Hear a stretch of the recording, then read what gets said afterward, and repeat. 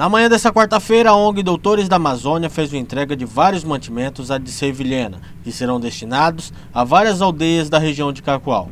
De acordo com Rubens Suruí, essa doação veio na hora certa, até mesmo para evitar que os povos indígenas venham à cidade para não ter contato com pessoas infectadas com a Covid-19. É muito importante essa parceria, essa construção junto da Associação Metarelar, junto com a de Servilhena, e a gente poder receber doação do nosso parceiro, que são doutores da Amazônia.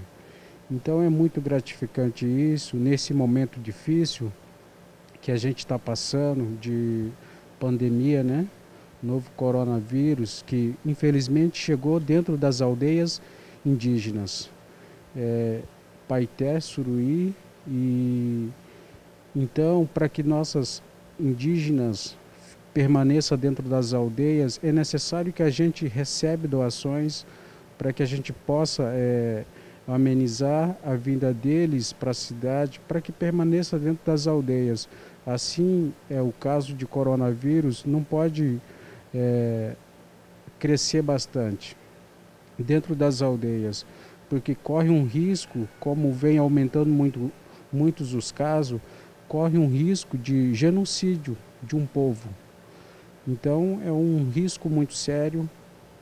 Então, é, dessa forma, receber doações de parceiros como Cogate, outras empresas que é, entrega doações para doutores da Amazônia e repassa para nós, isso é muito importante para nós.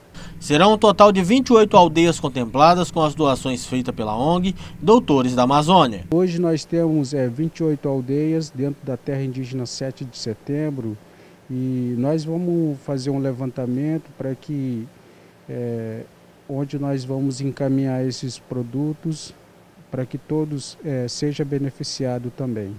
No total das doações foram 252 frascos de álcool gel 400 gramas, 1.200 unidades de creme dental, 1.296 unidades de escova de dente, 1.260 unidades de amendoim e dois pacotes de amendoim com 5 quilos cada.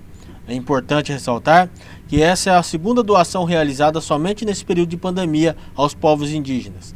Na primeira etapa da doação, foram entregues 123 unidades de álcool gel, 300 kits de higiene adulta, 100 kits de higiene infantil e 1.395 máscaras de tecido.